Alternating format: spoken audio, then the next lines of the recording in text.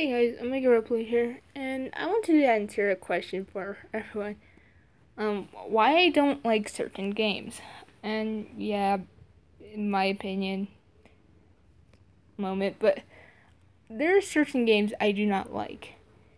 And when I mean this, I'm I mean like um not just like games in certain fr- certain franchises. Uh, I can't speak. I mean like other games I don't like like the Grand Theft Auto series or the Call of Duty series. And yeah, you might be like, oh my goodness, Call of Duty, the old games were awesome, but I really like these. Again, there are a couple games I don't like and certain franchises that I like. For example, in the Mega Man X franchises, I, I know I, I know a lot of people know that I like Mega Man X.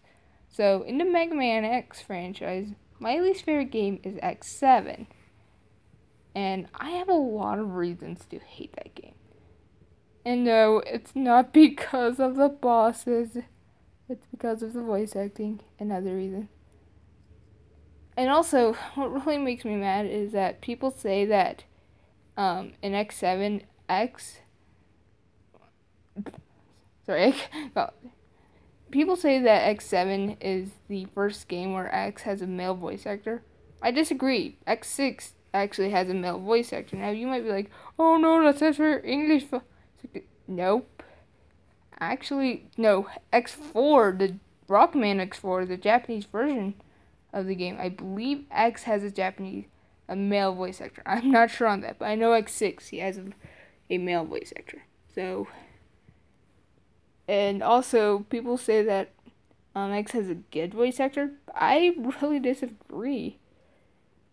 Um, X4 and X8, yeah, X4, in my opinion, X4 and X8 both have good voice actors. It's just that she was a female and that, um, the word? And that people were like, um, being all sexist, racist. I don't being all sexism on them and be like, oh no, I'm female for a male character, that's just wrong. Personally, if it was me, I would do the same. Because X looks like a little kid. So, yeah. That's my rant with X7 and X4. But, continuing on, I really don't like Call of Duty nor Grand Theft Auto. People would disagree on me, but be like trying to convince me to play the games, but I've always hated those two games as a kid, and I still hate them to this day. Call or sorry, Grand Theft Auto, it's to a point where I get a little bit of interest, and I'm like, no, no, nah, never mind. But Call of Duty, I have this deep burning hate for the game, and I don't know why I did that, like with my hand. So, okay, I'm sorry, but um when I was a kid, I saw Call of Duty and I was like, oh no, this game is evil. This game will corrupt people. This game will kill everyone. Yeah. I had that mindset. Yeah, and I also thought, why can't people play Pokemon? Pokemon is awesome. Again, I had that mindset as a kid. And then I grew up a bit in both mentality and age, and I'm now like, Call of Duty? Pfft they can go play and blow their heads off. I don't care. I'm just gonna be over here and play Solar Boy the Django, or sorry, um, the Django, the Sun, or Boktai. Ah, sorry, Boktai, the sun's in your hands, or play Kirby's Epic Yarn, or play a really good game other than Call of Duty, because they could just play. Grand Theft Auto on their, their hand. I was like, that looks interesting. Oh wait, never mind, I'm done. And then there are other games that I do have to support. Undertale, for one.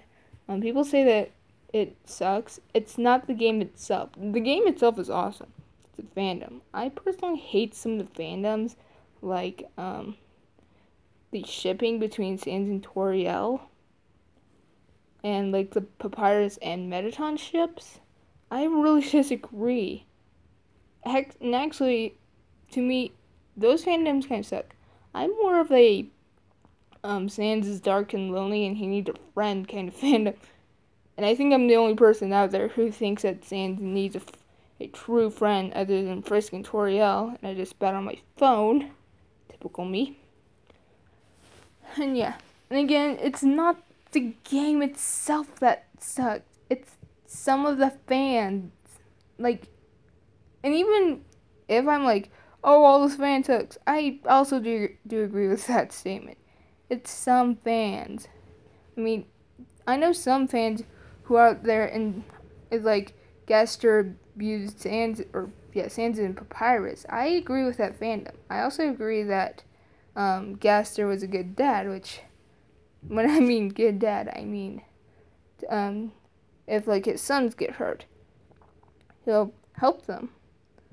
And so I'm not like I'm in between like the fandoms are bad and fandoms are good. I'm I'm in the between. I'm like some fandoms are good, fan some fandoms are horrid. And yeah. And I could go on and on about how fandoms suck. But I want to actually cover one last thing. And that last thing is um, people who mod games and people who find the beta games. I like those people a lot. Oh, and the people who find glitches. I like those people a lot. Those communities out there who like um, put the unused beta graphics in games. I like those people. I also like glitch hunters. Um, one of my favorite um, YouTubers is um, A plus Start, and another one of my favorite YouTubers is um, Beta sixty four, and their their posts pretty good. Um,